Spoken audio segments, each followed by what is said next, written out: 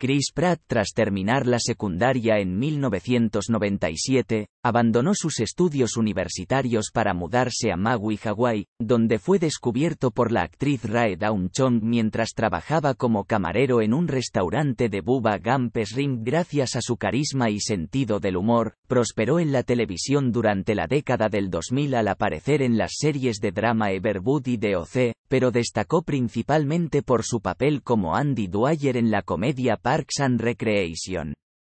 Después de un drástico cambio de imagen que lo ayudó a tener un mayor reconocimiento a nivel mundial desde 2014, Pratt ha sido uno de los actores mejor pagados de la industria del cine y ha aparecido en tres años distintos en la lista Celebrity 100 de Forbes.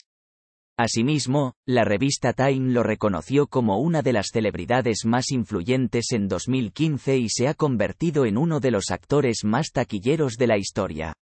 También es un filántropo que ha apoyado a numerosas asociaciones benéficas en favor de las personas sin hogar y pacientes de diversas enfermedades. A lo largo de su carrera, ha ganado premios en los MTV Movie a mediados de la década del 2010 al interpretar a Peter Kill Star-Lord en Guardianes de la Galaxia en 2014 y Guardianes de la Galaxia Volumen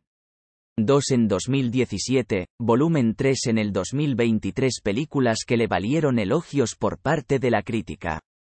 Por ello pasó a ser un personaje recurrente del universo cinematográfico de Marvel y apareció en otros filmes. Pratt fue objeto de controversia luego de que se le acusara de estar en contra de la comunidad LGBT por su asistencia a la iglesia Hillsong, que ha sido criticada por presuntamente no aceptar a miembros de dicho colectivo y practicar terapia de reorientación sexual. El actor se defendió diciendo que no estaba de acuerdo con todas las prácticas de la Iglesia y que, por el contrario, cualquier persona era aceptada en la comunidad. Chris Pratt, quien en los recientes años se ha posicionado como un increíble actor y que es de los pocos que no se preocupa exacerbadamente de su físico, haciendo que en ocasiones lo encontremos bastante en forma y otra más relajada disfrutando de sus vacaciones.